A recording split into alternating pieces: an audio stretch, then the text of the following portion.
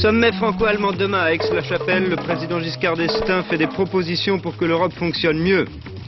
La demoiselle d'Avignon, devenue star à Hollywood, invitée du journal Marthe Keller. Une grève pas comme les autres dans l'Oise pour les respects du droit de l'homme. Nantes-Benfica, premier match en Coupe d'Europe de football, en direct sur Antenne 2 après ce journal.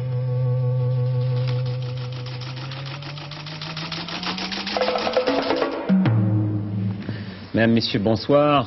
En effet, que tous les sportifs, sportifs en chambre ou autres, se préparent à la grande première soirée de football qu'Antenne 2 leur offre depuis la rentrée. Je peux parler de Nantes-Benfica en direct de Nantes. Le stade Marcel Saupin, vous le voyez, est déjà bien garni. Et à partir de 20h28, nous retrouverons là-bas nos envoyés spéciaux. Et dans le dernier journal, vous aurez également les résultats des autres matchs européens dans lesquels sont engagés Monaco, Nancy et Strasbourg. En attendant, détaillons l'actualité de la journée et que je vous dise tout de suite qu'il ne faut rien attendre de Camp David. Ce soir encore, le chassé-croisé d'entretien ou de tête-à-tête tourne au marathon. La navette diplomatique se poursuit une semaine après le début du sommet sans que l'on voit se dégager à l'horizon un compromis satisfaisant. En revanche, on commence déjà à percevoir les contours d'un autre sommet qui va se tenir à Aix-la-Chapelle demain et après-demain, le 32e sommet franco-allemand, placé plus que jamais sous le signe de l'Europe. Soyez sûr que vous entendrez souvent parler au cours des jours prochains de l'ombre de Charlemagne.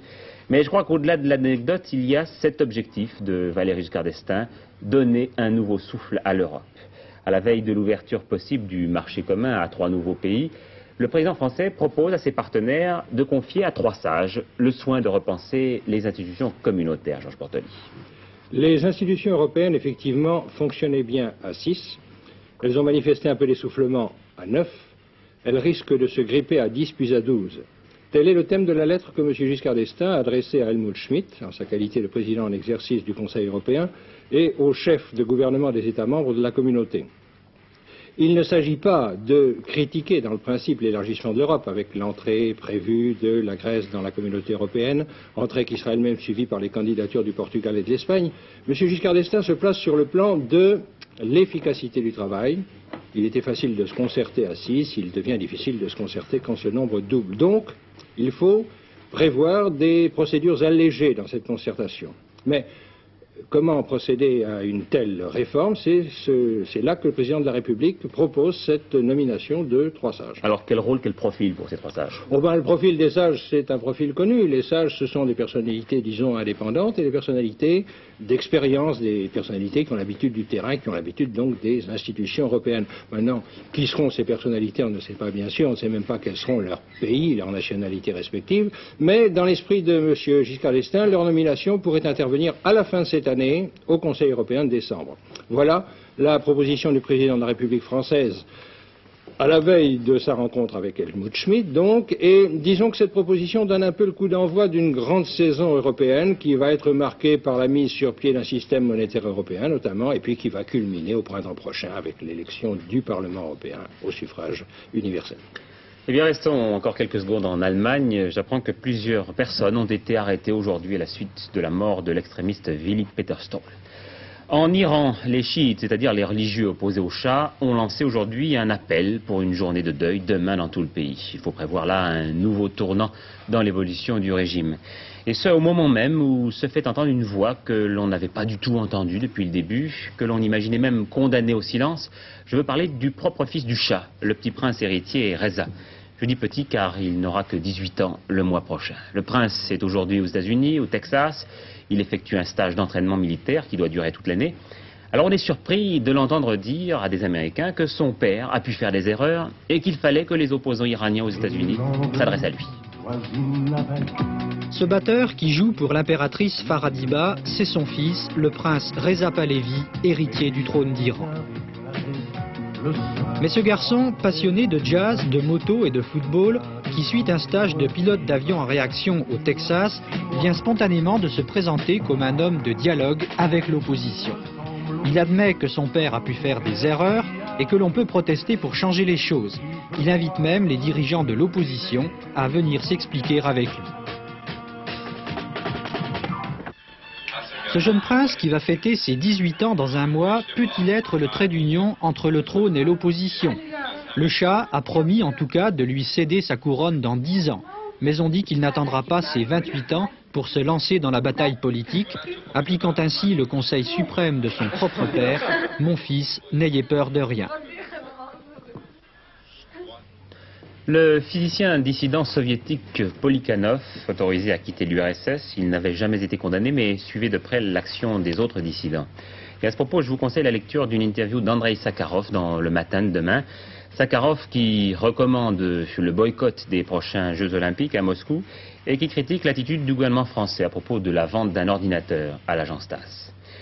Assassinat en plein Londres, dans le plus pur style des romans d'Agatha Christie. La victime, eh bien, c'est un écrivain dissident bulgare dont les chroniques à la BBC étaient très critiques à l'égard du régime bulgare et de ses dirigeants. Pour l'éliminer le plus discrètement possible, il n'aura fallu qu'un simple parapluie, une seringue empoisonnée y était cachée, et puis en plus le hasard voulu d'une bousculade. La suite avec Claude Guénière.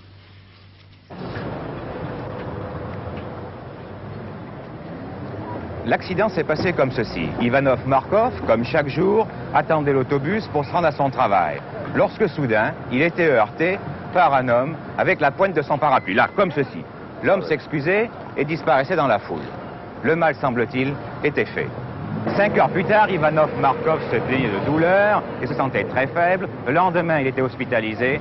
Trois jours après, il mourait.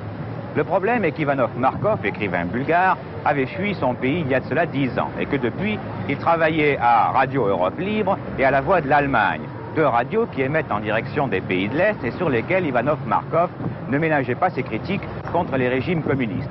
Il avait d'ailleurs reçu des menaces.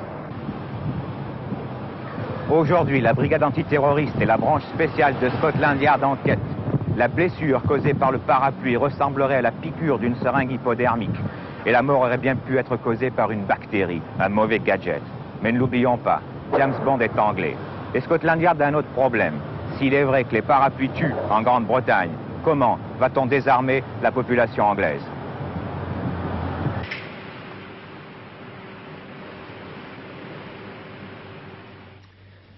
En Italie, François Mitterrand a suscité, sans le souhaiter, une petite euh, polémique. En lisant son dernier livre, L'abeille et l'architecte, les Italiens découvrent qu'Aldo Moro, enlevé et assassiné par les Brigades Rouges, a été sacrifié par son parti qui avait besoin de son sang dans la perspective d'élections communales.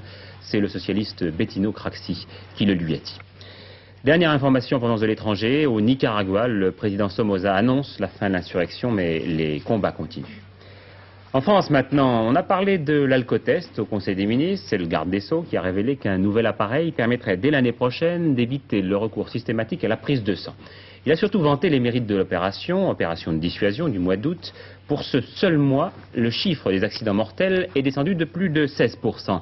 Le dépistage proprement dit n'a permis d'épingler que 29 conducteurs sur 8461 contrôles. C'est une preuve de bon sens, mais attention, c'en est fini maintenant des opérations annoncées à l'avance.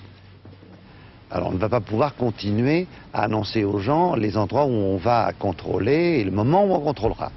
Et de plus en plus, on va se livrer à des opérations à l'improviste, mais en même temps, on continuera à faire de grandes opérations rendues publiques à l'avance pour que euh, l'ensemble des automobilistes continuent à être sensibilisés. Toujours au Conseil des ministres, euh, me signale notre correspondant, plusieurs propositions destinées à accroître euh, l'efficacité de la recherche et à l'adapter davantage à l'industrie. Nous entendrons le secrétaire d'État dans ce domaine, Pierre Aigrin, détailler ses propositions dans notre dernier journal.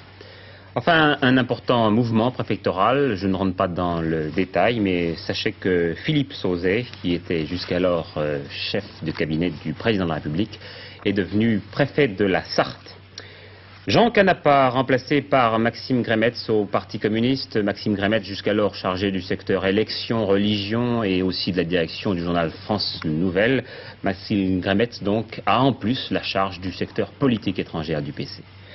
Pas de nouvelles sanctions contre Robert Fabre, mais la confirmation par le comité directeur du MRG de la décision du Bureau national. Les radicaux de gauche estiment qu'en acceptant sa mission sur l'emploi, Robert Fabre s'est placé lui-même en dehors de son mouvement. Georges Marchais chez Robert Boulin, les communistes avaient à présenter au ministre du Travail une série de propositions contre le chômage. Georges Marchais, en ce moment même, est en train de sortir de chez le ministre du Travail. Nous l'entendrons dans notre dernier journal, présenté par Pierre Alain, 23h.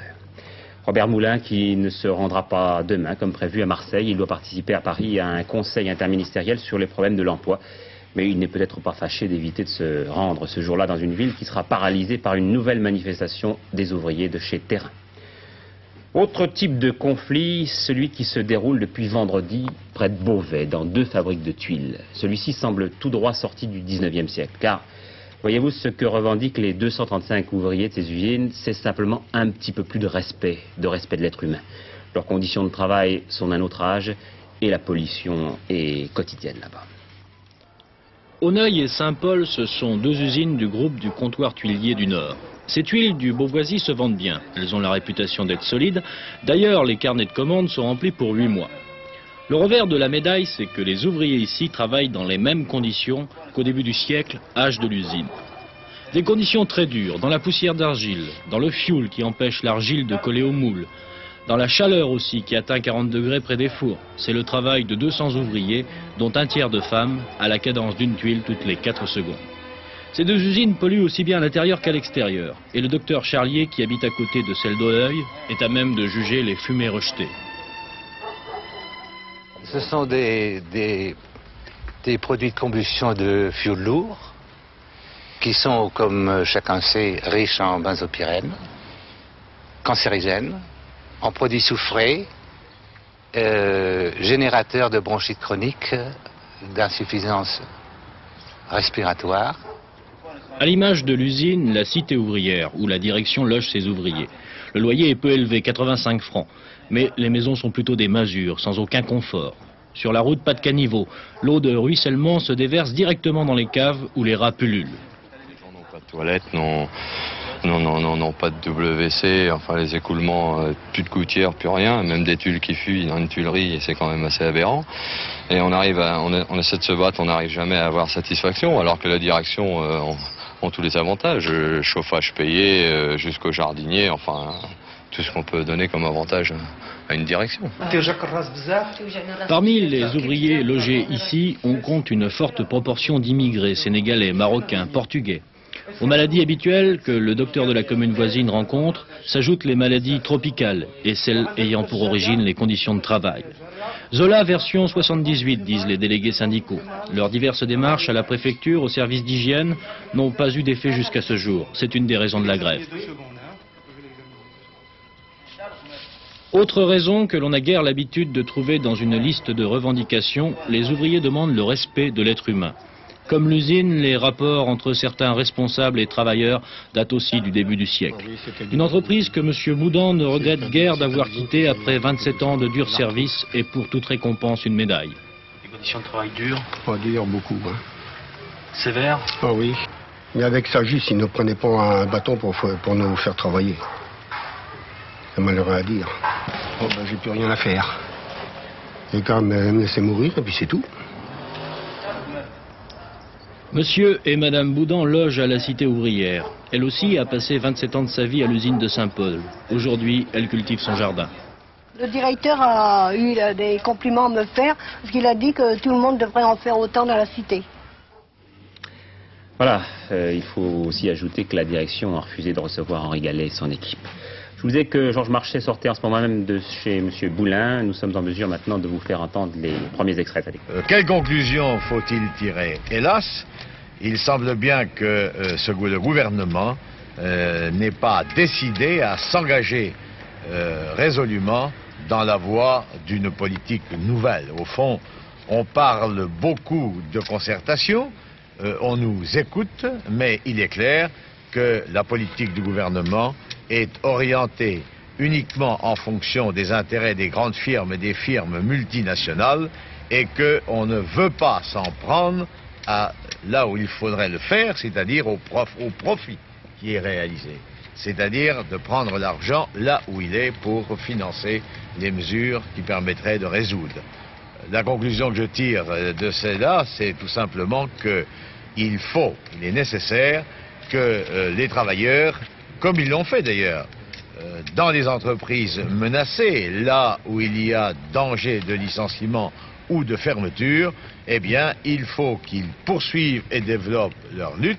Et nous avons, euh, quant à nous, la certitude que euh, les luttes unies à la base peuvent permettre de contraindre le gouvernement à prendre en considération des propositions qui, je le répète, permettraient de résoudre le problème de chômage. Plus que. Avant notre page cinéma, un rappel des principaux rendez-vous que vous donne la rédaction d'Antenne 2 ce soir. Dans quelques minutes, encore une fois, 20h25, 20h28, Nantes-Benfica. Vers 23h20, les dernières informations que vous présenteront Pierre Alain.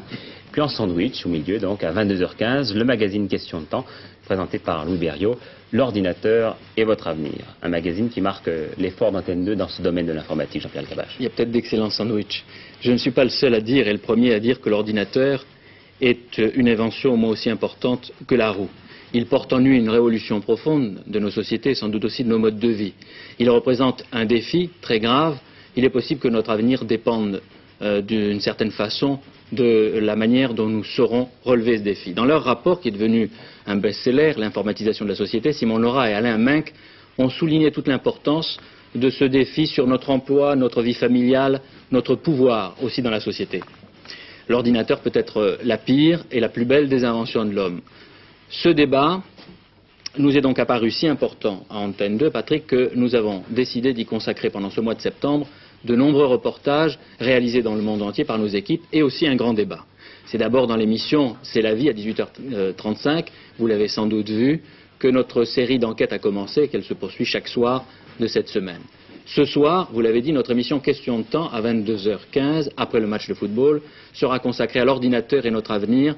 Vous verrez un certain nombre de reportages réalisés aux États-Unis, au Japon et en France. Et ce que vous montrera Louis Berriot vous pourra peut-être, euh, ça vous surprendra peut-être autant ou presque autant que le jeu des footballeurs nantais.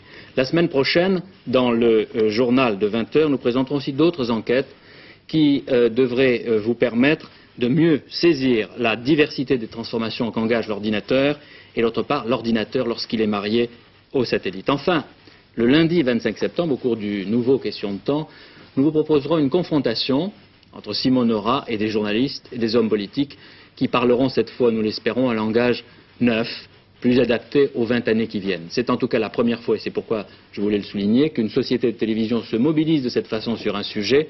Je pense que l'importance de ce sujet mériter l'attention d'Antenne 2.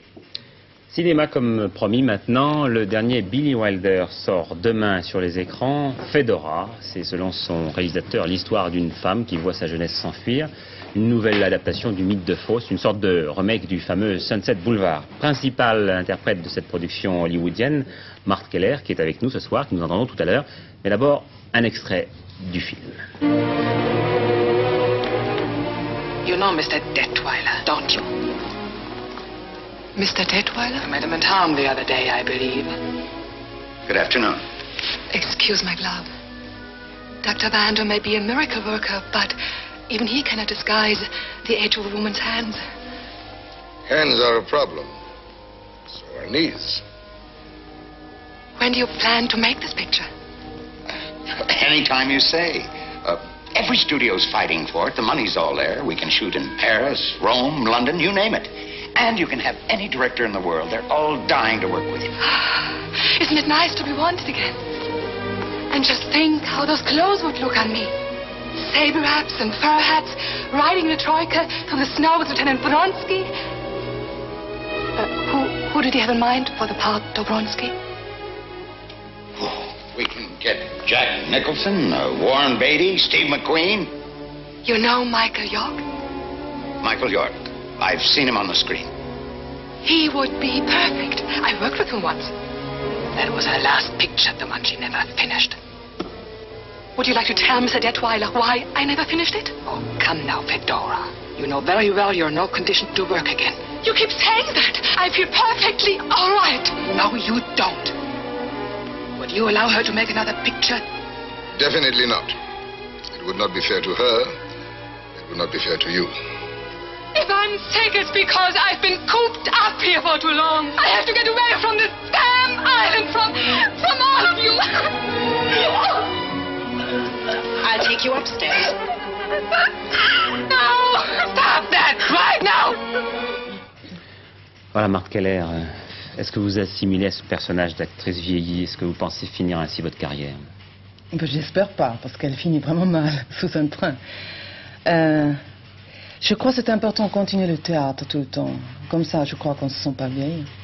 Alors là, vous allez revenir effectivement un petit peu au théâtre, on va en parler tout à l'heure, mais parlons d'abord un petit peu de Fedora. Vous avez tourné avec un grand metteur en scène, qui est Billy Wilder. Est-ce qu'il est aussi difficile qu'on le dit bah, Il est difficile, mais je crois que tous les génies sont difficiles.